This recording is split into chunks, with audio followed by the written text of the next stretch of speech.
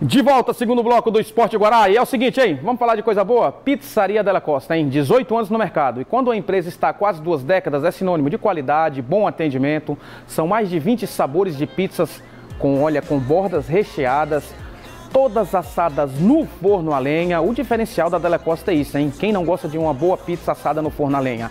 Um parquinho de diversão para a criança ficar brincando ali enquanto você reúne sua família, seus amigos, principalmente nesse mês de dezembro, que é mês de confraternizações, e tudo bem localizado, pertinho de você.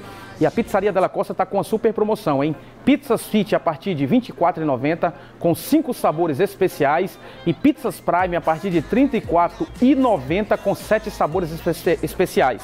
Tudo isso bem localizado ali na Avenida Daniel de Latouche, no Parque Chalon, naquele posto ali pertinho, anexo ali a Chopana. Pizzaria Della Costa, a melhor pizza da ilha, rapaz. Traz pra cá agora, que vamos falar agora de quem? Vamos falar agora do Motoclube de São Luís, hein?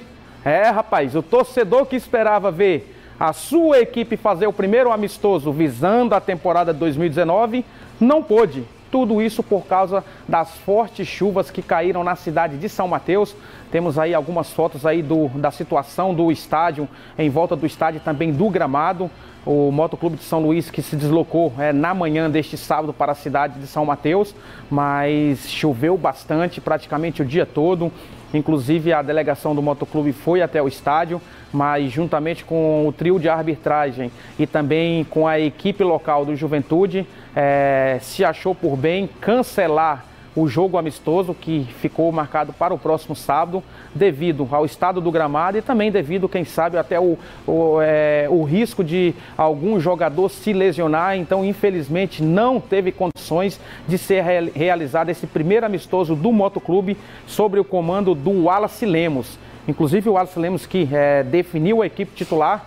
Acho que se nós estivermos aqui, pode colocar aqui na tela só para o torcedor do Motense é, ficar ciente de qual é o time titular que iria iniciar o jogo no próximo sábado, mas vai ficar para o outro fim de semana, hein? Com o Vitor Paiva, a única dúvida que ele tinha era no gol. Vitor Paiva, que foi seu jogador na equipe do River do Piauí, confirmado como goleiro titular. Uma linha de quatro com Diego Renan na lateral direita, os dois zagueiros Lucas Dias, o Alisson e o lateral esquerdo Matheus Mendes. Aí uma linha de dois volantes com o Nailson e o Hulk. E uma linha de três jogadores com Juninho Arcanjo mais centralizado como articulador das jogadas. Márcio Diogo pelo lado esquerdo, o El Carlos pelo lado direito. E mais centralizado com homem de referência, como homem de referência, o Danilo Galvão. Essa era a equipe que iria enfrentar a equipe do Juventude de São Mateus no sábado lá no interior mas devido às fortes chuvas foi cancelado o amistoso. Time retornou para São Luís, descansou, iniciou os treinamentos já nesta segunda-feira, visando aí esse amistoso do próximo final de semana e também a preparação para a temporada de 2019. Lembrando que o Motoclube vai estrear dia 20 de janeiro, lá na cidade de Pinheiro, rapaz. Então, torcedor motense aí na expectativa. Saindo agora do Motoclube de São Luís, vamos falar agora de beat. É, rapaz, olha, na etapa de Tutóia só deu o time da cidade, tanto no masculino quanto no feminino. No masculino, a equipe venceu por 10 a 2 a final, diante de Paulino Neves. Se tivermos a é, foto, pode colocar. Não temos, né? Mas lembrando que é, tanto Tutóia quanto Paulino Neves já estão classificados para a fase final, que será realizada aqui na cidade de São Luís. A equipe de Tutóia, que era a equipe da casa, com Eudim, com o Datinha, é, realmente com jogadores aí da seleção maranhense de futebol. Não teve dificuldade de vencer a equipe de Paulino Neves. E na, e, e na final feminina, na final feminina, Tutóia também venceu o Paulino Neves por 5 a 2 é, invicto a equipe é, da cidade é, mandante dessa fase do Campeonato Maranhense. Então, parabéns à equipe de Tutóia, tanto masculino e feminino.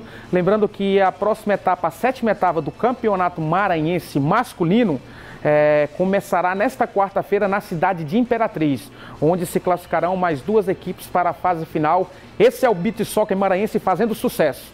Por onde passa nas areias no Brasil faz sucesso. Tanto que nós temos o nosso craque da Tinha como um dos melhores jogadores e um dos principais da seleção brasileira.